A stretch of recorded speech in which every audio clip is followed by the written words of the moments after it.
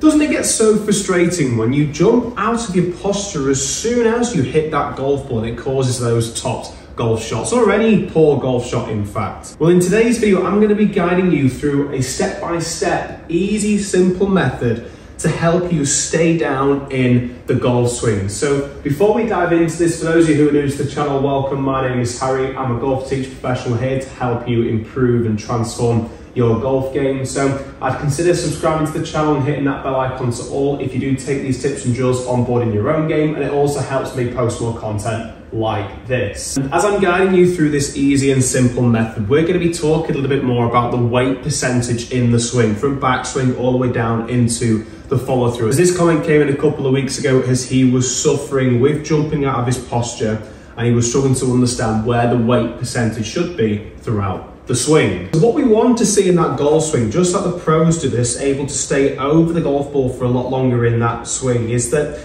as we make our way into the top of the swing, you can see here that as I'm rotating from this camera angle here, you can see that my back is facing towards the target. We can see my sternum moves ever so slightly off the center point if we were to draw a line here directly towards the golf ball and I just repeat this action. I'm rotating into the very top of my swing. So there's a lot of movement taking place there in the actual golf swing as we build our way up into the top of the swing. But if we were to take a look from the side on view and I just make that move again, and if we were to draw a line from where my butt cheek is and my glutes are, what's happening here?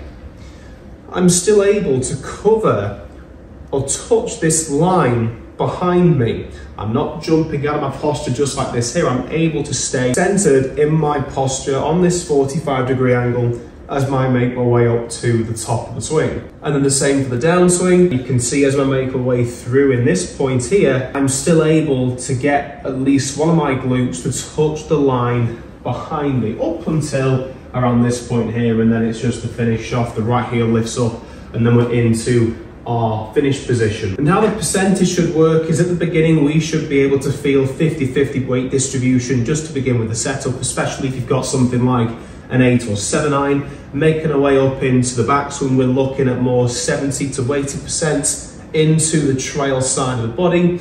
As we begin to rotate into the downswing, we're then pushing that more to the 80, maybe possibly 90% as we lift that trail heel up into the follow through position. And what we tend to see so many golfers do when they jump out of their posture, they either do this in the backswing or they do this in the transition phase of that downswing before it comes to making contact with that golf ball. So what they'll do is they'll get to the very top of their swing and they'll still be able to get a reasonable amount of rotation, but not enough to quite keep the hips back enough and the glutes back enough so as they make their way up to the top of the swing, they'll begin to extend upwards like this here, working their way up to the top of the swing. This is you if you do extend early and jump out of the posture early into the top of the backswing. But for those of you who do this as we make our way into the downswing part, we're able to get this backswing in a great position. We almost try and push upwards, fire the hip towards the target. We begin to lean out of that posture a little bit, extend upwards. You can see then my knees are straightening too early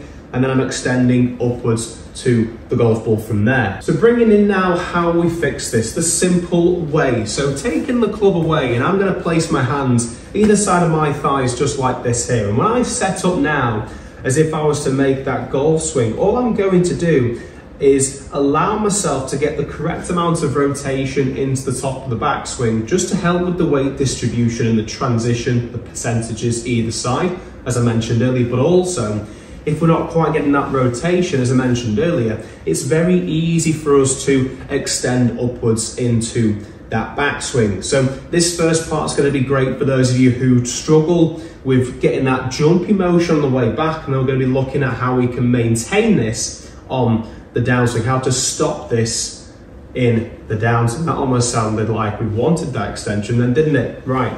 So, hands either side of my thighs, just like this here. And all I'm going to do is allow my trail arm to roll up to my right hip and my left arm, my lead arm to roll down to my left knee as I get my back to face towards the target.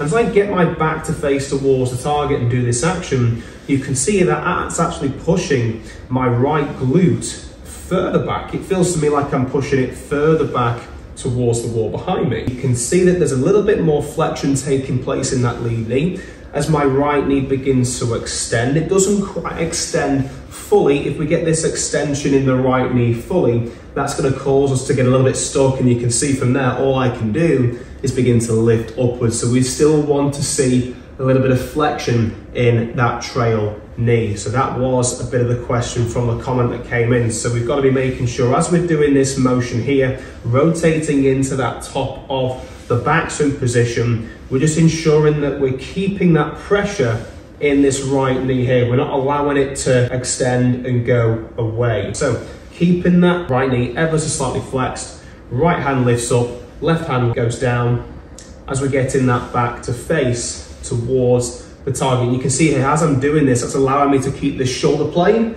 as opposed to getting those shoulders too lateral and again, jumping out of that posture. So working our way up to the very top of the swing, as we make our way into the downswing, how we maintain this is very, very important. So once we're in the very top of the swing here, all we're going to do from here is allow this left hand to lift up, to going towards my left hip, and the right hand to go down towards my right knee. So we're working opposites on the way through and allowing that chest to rotate towards the target. So this in action, we're up at the top of the swing here. So left hand lifts up, right hand goes down, chest works towards the target, and then I'm making my way through to finish here. So now I'm really stretching this out, and you can see if I was just to do that action again on the way through, I'm able to continue touching this line behind me as I'm doing this action here, but on the way through, that really feels a little bit more awkward in comparison to the backswing, just because we're really stretching this out a bit more on the way through. At this point, we're so used to lifting that right heel as well, but that can take place once we start to feel that stretch in our lower left side. Again, I'm able to maintain this shoulder plane on the way through, but one of the key checkpoints here is something I mentioned regarding what we should be doing beforehand, and that was on the way down, we don't want to see the sternum shifting forward. We don't want to see the sternum staying behind the golf ball. The sternum is the center point, and we want to keep that center point relatively at the golf ball, assuming that the ball position is in the middle of the stance. So on the way through, as I'm doing this action here, you can see that I'm allowing my hips to rotate round as opposed to pushing myself forward.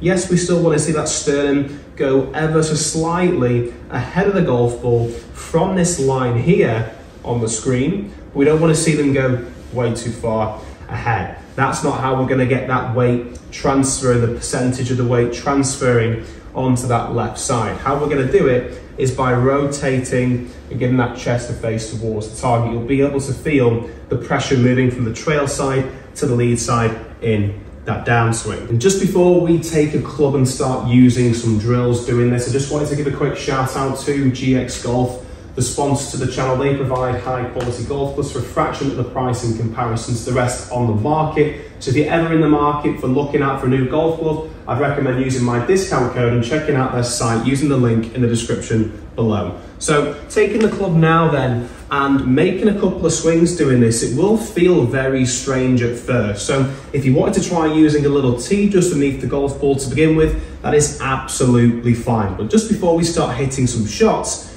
we've got to rehearse this motion using the golf club very slowly and then we can start to build this up. So as I make my way into my posture and setup. To ensure that we're doing this action correct, I'm just trying to get that same sensation of my trail hand lifting up towards the hip as my lead hand goes towards the knee. So that same feeling, allowing that rotation and my back to get to face towards the target. And you can see there, as I'm doing this action, I'm going nice and slow, just ensuring I'm keeping the club in a nice position throughout the backswing. And I'm ensuring now that that hip is staying back here, as opposed to extending upwards. That's where we get the jumping motion.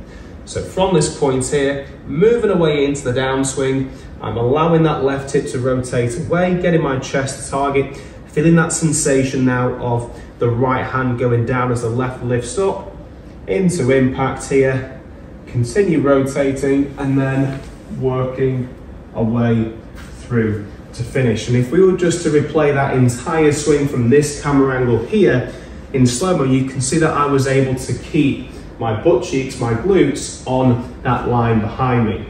As soon as they lift up, that's when we start jumping out and then causing those poor golf. So once you've built this up, give yourself 10 to 15 shots, building this up from 10%, 20%, 30%, all the way up to around your on-course speed. The faster you swing, the harder this is going to be to maintain. So I'm going to introduce another drill now to help you maintain this position when you're doing this at speed. That is by using a stool or a chair. I'm going to place a stool or chair directly behind me, just like this here, just ensuring that I've got enough room to be able to just touch the chair if I can do, just to really exaggerate things and challenge yourself. When you make your way into your backswing, you're just going to try and almost sit on that chair, not quite by bending the knees too much like this here, but as I make my way into the backswing, I'm just trying to get my glutes or my thigh because it's a little bit too small for me being a tall golfer. But I'm trying to get my thigh to touch that chair and then my left thigh to touch the chair on the way through. So trail thigh to touch the chair, lead thigh to touch the chair or stool that you're gonna be using. So hitting a couple of shots, really doing this at speed, right thigh, left thigh on the way through. And again, with me exaggerating that there, that wasn't the best of strikes at all. It's just a matter of getting used to doing this motion and exaggerating it at speed. So same again, just hitting a couple of more, getting used to that. You can also then really exaggerate the way you tilt over the golf ball if you want to really push this even more so. So tilting over the golf ball, this is going to require us taking the club away just to begin with. We're still going to have the stool in place, but as you make your way into the top of the golf swing to really exaggerate you maintaining that posture, that spine angle on the way through, if you want to really, really ramp up that speed and start hitting some drives doing this straight away, we could, I won't recommend this if you're not jumping out of it, but if you still are, give this a try. So from the top of the swing, you're just going to really push your belt buckle. Imagine someone's pushing your belt buckle back. And as you're pushing that belt buckle back, that's when we can begin that movement on the way through. So left thigh touches, you can see how much more over the golf ball I am here. Very, very awkward. Feels like I'm gonna be hitting the ground first even more so, but that's just to really exaggerate that movement. So if you're still struggling with this and you film yourself from the side on camera angle, and you get to the very top of your swing and you find that you're jumping out the way, then what we can do instead is really force that belt buckle back to almost push the stool over and then encourage that rotation on the way through and almost hold the angle. When you start making a couple of swings, 100% swing speed, because you're going so quickly and due to gravitational force in the golf swing, you'll be able to lift yourself back up and get that center strike more often, just as you get used to this. Again, I don't keep saying it, but it is a matter of time for you to get used to this. So there's some really good drills there that you can use to be able to get those movements in your golf swing. One here, two here with the stool, and then three, that final one that I've just mentioned there. And tracking all the numbers today, I'm using a TrackMan IO, which is one of the best launch monitors out there on the market currently. However, if you're looking at trying to work on that weight transfer and understand where the pressure is moving even more, I recommend having a look at the Unicor pressure plates and setup as this really helps you identify where the feet are moving and the pressure points are in both of your feet. So just to finish off on one final shot, really getting that sensation, I'm just gonna focus on trying to put those first two into action and see if I can stay over in my golf swing. Let's get a slow-mo from this camera angle straight after I hit it just to see. So what do we think of that one? So as I made my way into the backswing, it was a pretty good position. As I made my way into the downswing, I was very close to touching that stool and I began to lift up into my follow through position. So I could work on that a little bit more myself to help me improve that ball striking. But for those of you who are going to take these tips and drills on board and found this video useful, be sure to hit that subscribe button and click the bell icon to all. Again, it just helps me post more content like this to help you improve your game. And why not comment down below the tips or drills topic you'd like me to cover next? And now we've got this movement trying to stay down in the golf swing working in your favor how can we just ensure that we're getting the strike? Is there anything else that we can start to work on to help you improve that aspect, especially with the irons? Well, I highly recommend checking either these two videos out over here on the screen to help you further improve. So be sure to check one of them out and I'll see you over there. Thanks for watching.